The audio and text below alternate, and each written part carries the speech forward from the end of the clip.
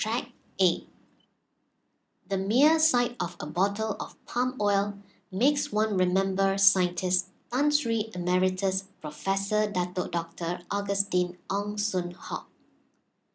Tan Sri Ong was born on 18 September 1934 in Malacca.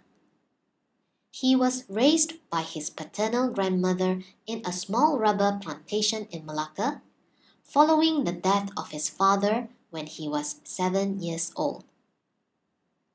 He was very interested in chemistry, physics, and mathematics since his secondary residential education at St. Francis Institution in Malacca. Tan Sri Ong devotes his time and energy to learning, discovering, and enhancing the chemistry and technology of palm oil. Between 2006 and 2011, he conducted research on palm oil and contributed to several discoveries. His research showed that palm oil is less fattening than corn oil and soybean oil. Through his efforts, Tan Sri Ong has promoted Malaysian palm oil to the world.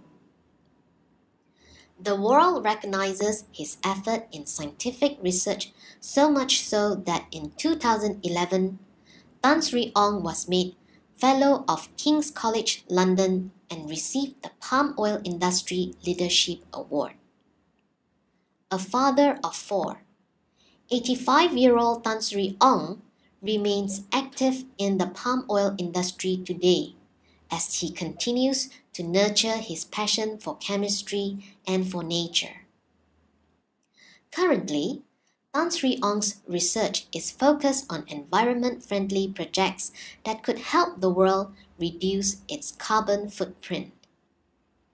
He continues to guide younger scientists in their quest to greater scientific research.